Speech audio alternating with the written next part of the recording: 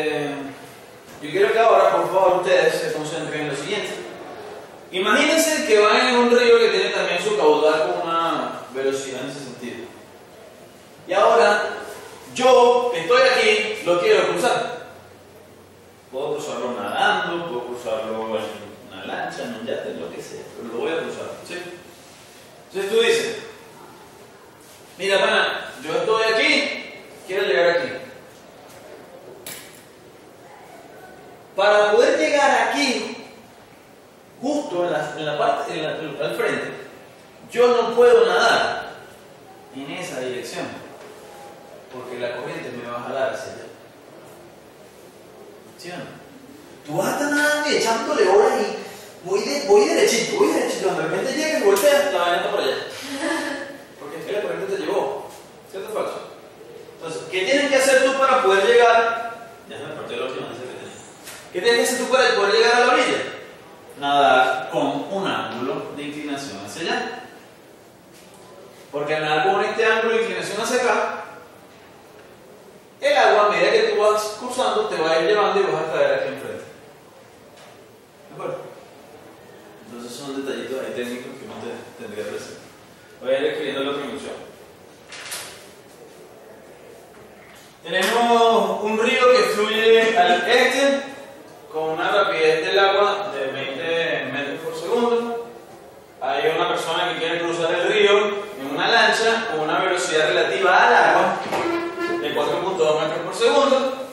hacia el norte.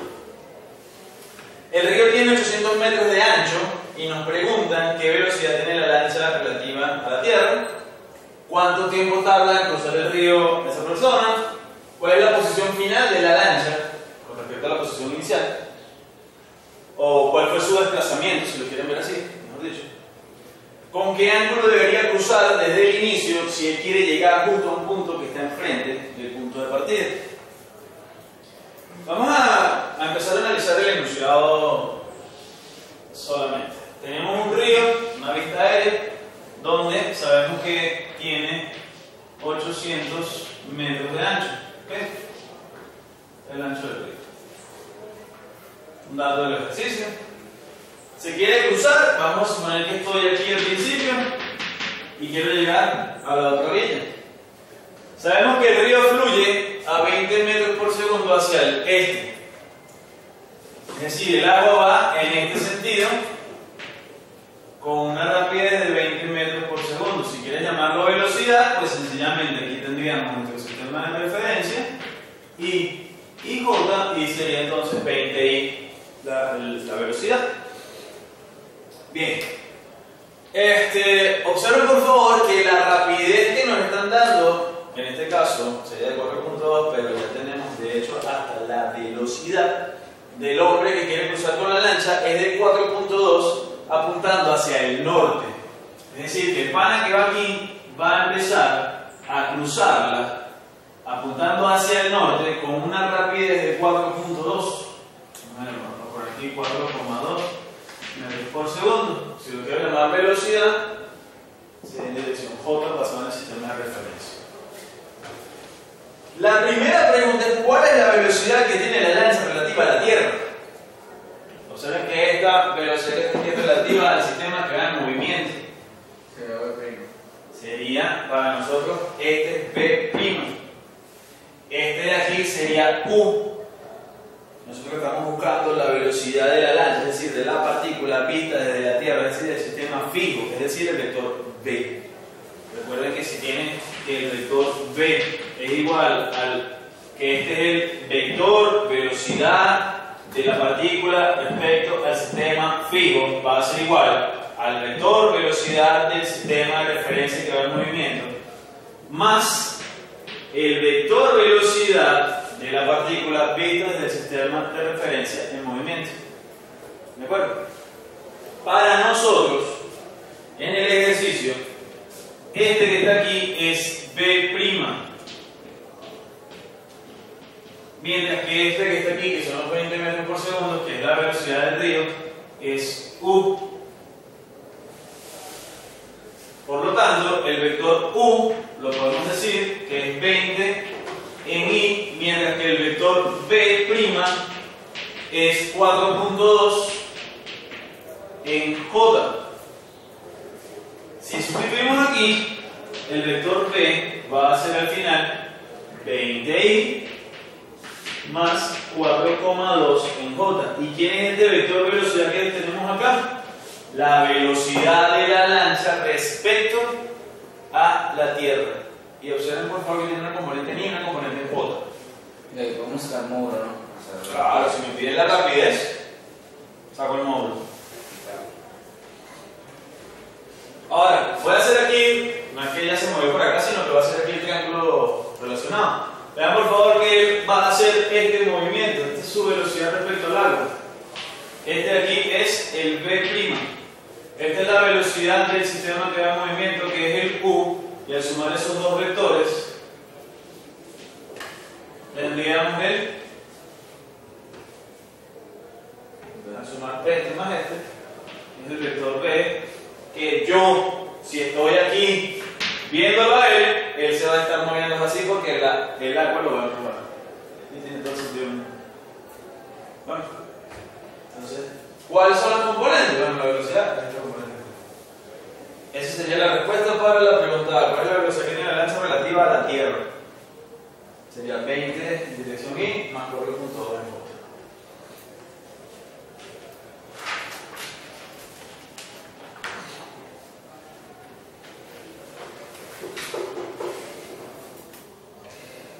Ahora la pregunta es el tiempo, ¿no?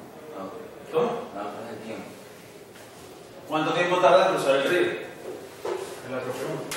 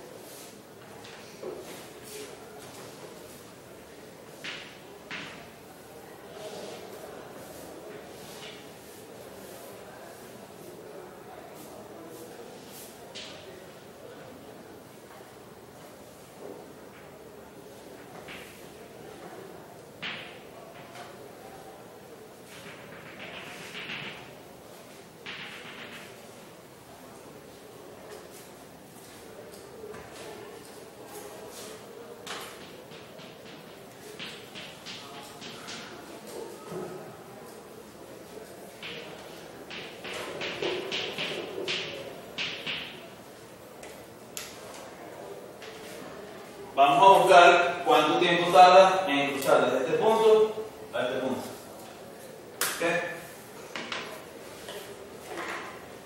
Estamos hablando de una rapidez constante. ¿De acuerdo? Por lo tanto, aquí no hay movimiento acelerado. Para la posición, recuerden que el vector posición es una posición en x inicial más la componente en x por el tiempo más la aceleración por cuadrado sobre 2 en y, aceleración en x por si acaso. Y en j tendríamos la posición inicial en y más la componente de la velocidad en y por el tiempo más la aceleración en y por el tiempo cuadrado sobre 2 en j. Esto es claro. Porque observen que la posición R, si nos vamos a nuestro gráfico, todo esto que está aquí, que es la componente ni, es la distancia que él se desplazó allá. ¿Cierto? Y la componente J, que es esto que está aquí, es la componente que va hacia allá.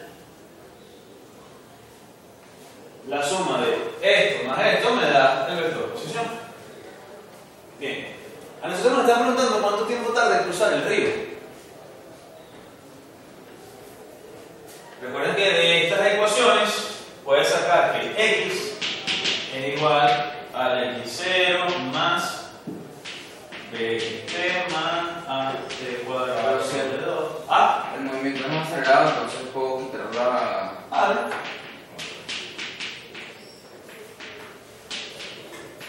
¿Entiendes?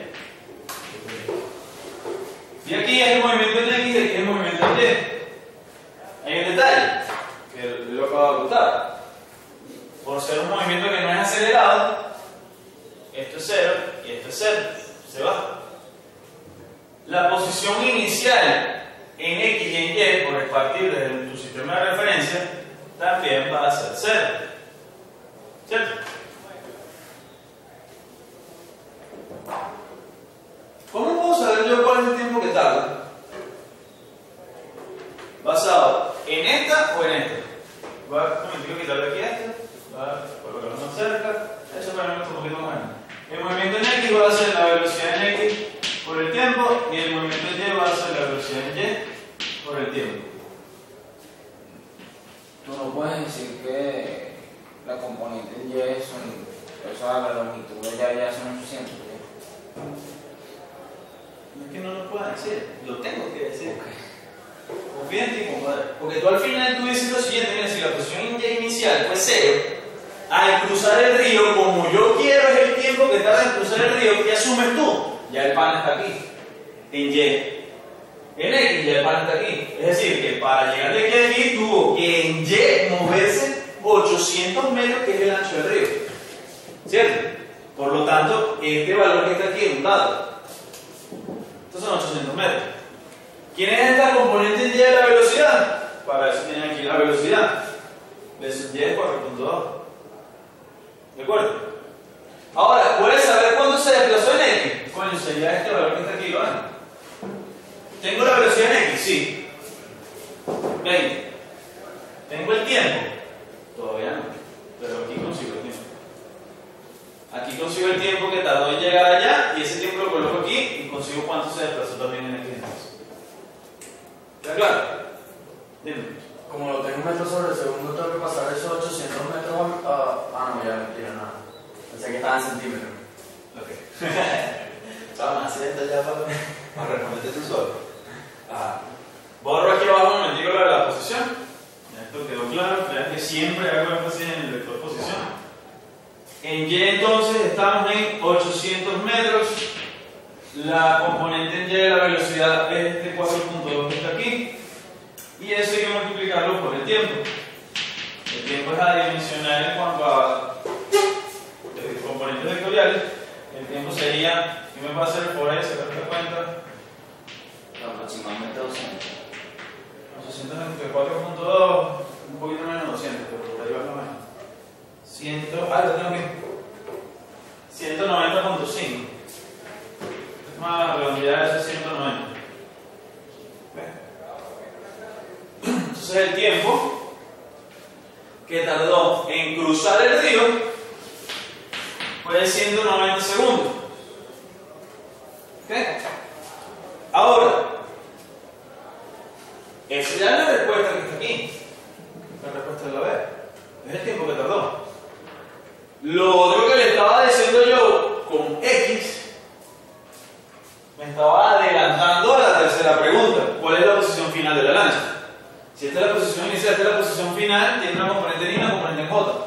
Por lo tanto, la posición final de la lancha va a ser una componente en X que no he encontrado, he todavía más, la componente en Y que sé que son 800 metros. ¿no? 800 en J. Ok, ya está del otro lado.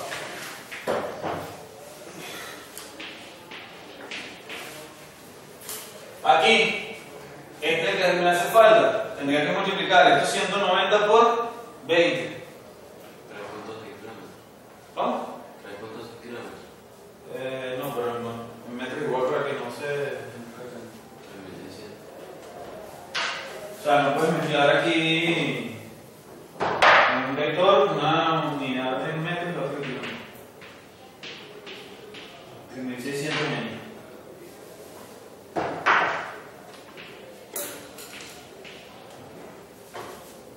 Los primeros 600. 190 por 20. Ah, primero sí. No son, Esto, por si acaso, estamos trabajando en metros. Esta sería la posición final del chano. Esta sería ya cuál es la velocidad relativa de la lancha, la tenemos aquí. ¿Cuál es el tiempo que tarda? Lo tenemos aquí. ¿Cuál es la posición final de la lancha? Está aquí. ¿Ok?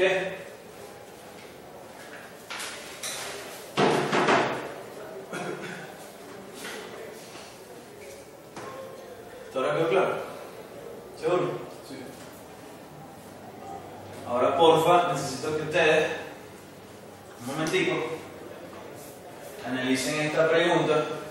¿Y qué harían ustedes nada más físicamente? No el número ni nada, no quiero un ángulo puntal. ¿Qué harían ustedes si quieren llegar justo al frente? Piensen un momentito. El mismo, el mismo ángulo que se. Que, Voy a borrar aquí.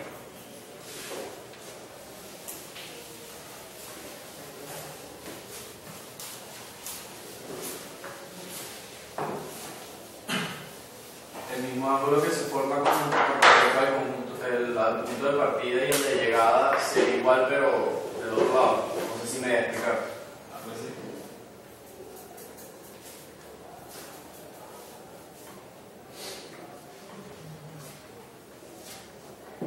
Aquí tengo un ángulo, ¿no? ¿Cierto?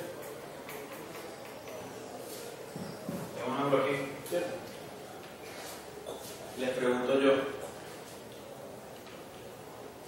¿este ángulo que está aquí es igual a este ángulo que está aquí? ¿Sí o no? Sí. A efectos de dibujo, serán triángulos semejantes, ¿no? Sí. Vamos a demostrarlo teóricamente, simplemente hablando, para que vean el por qué. Esta distancia se puede decir que es la velocidad en y por el tiempo. Y observen que es la componente en y de la velocidad, que es esta, por un escalar. Tú no le cambiaste la dirección y el sentido, simplemente la magnitud. ¿Bueno? ¿Sí o no? Y esta de aquí, que es en y, que es esta distancia, es la componente en x de la velocidad, que es esta misma de acá, por el mismo escalar. O sea, tú lo multiplicaste por el mismo escalar tanto la x y la de y. Si fuesen dos valores distintos, ya estás alterando el triángulo, estás alterando el ángulo. ¿De acuerdo? Entonces, sacar este ángulo o sacar este ángulo al final es el mismo. ¿De acuerdo? Ahora, si yo quiero llegar al frente, es decir, empecé aquí y quiero de pana llegar es aquí, tendría que agarrar esto y girarlo para acá entonces. ¿Sí o no? Es decir, irme con esa dirección para que el agua, en este caso, me lleve acá. Que eso en realidad no sería esta flecha aquí. Vean que al- este sería el, el vector, el vector posición. Tú tienes que trabajar esto en el vector velocidad. Porque aquí es donde estamos haciendo lo de estas cuentas. Entonces, ¿qué pasa? Si tú partes, si tú estás en un río, quieres llegar justo al frente, la velocidad del río sigue siendo en este sentido. Tu velocidad inicial no puede ser en Y, tiene que tener componentes, tiene que estar así. ¿De acuerdo? Quiere decir que esta va a ser ahora U, esta va a ser el B' para que cuando tú vengas y te vean desde el mar, desde la tierra, perdón, te vean en línea recta. Repito, este, este es el, puede que tienda a ser confuso. Sigue siendo una del río allá. Yo quiero llegar de aquí a aquí, quiere decir que si me ven desde aquí parado alguien, me va a ver en línea recta. Pero yo no veo en línea recta, la lancha mía va así. ¿Lo ven? Entonces, esta velocidad que apunta hacia allá es la B', que es la velocidad que debe tener la lancha con respecto al sistema en movimiento que es el agua. Y este es el ángulo con el que debes ir para poder llegar al frente, que al final es este mismo ángulo que está aquí. Ok, sí. ¿Quedó claro? Sí. ¿Seguro? ¿Con qué ángulo deberías cruzarlo? Entonces, tendrías que buscar de aquí de este triángulo rectángulo. Fíjate, vamos a hacerlo porque. ¿No lo puedes decir de una vez un triángulo rectángulo? ¿Cómo? ¿No puedes decir de una vez que 45? Oh, no, 45 no. Pero si es triángulo rectángulo. Puede tener Ah, 37, ya, ya. 59, 20, 60, ¿sí? Que sea rectángulo de pinga. Que sea rectángulo te permite usar Pitágoras o lo que, algunas razones trigonométricas. Pero, y si no es rectángulo, ya es otro peo. Si tienes una broma así, ya tienes que trabajar con el seno, el coseno, con picar por la mitad para generar triángulo rectángulo, cosas así. Que sería aquí la proyección del vector. En vectores de trabajo. Ahora, basado en aquello, tendríamos un triángulo rectángulo donde esta magnitud era B', que era 4.2. Esto aquí es recto. Esta magnitud era 20. ¿ok? Y la idea es calcular este ángulo que está aquí. Yo sé que tengo los carteles. Este es el opuesto, este es el adyacente.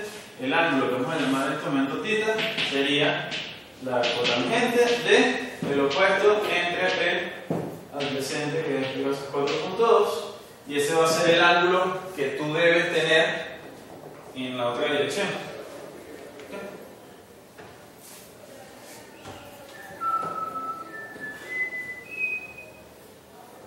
Y de aquí, sí, con el ángulo de eso, sí, ya tenemos el ángulo. Con la calculadora obviamente sacas la cotangente y ese ángulo ahora tienes por acá, por si quieres sacar cuáles serían estas dos componentes, tendrías aquí el U, aquí tendrías el V, esta es la, velocidad que va a tener con respecto al, a la orilla y esta sería la velocidad. Entonces, esta va a ser la inclinación que tienes que tener para poder hacer el recorrido y terminar justo, justo enfrente, en el punto al frente. 네?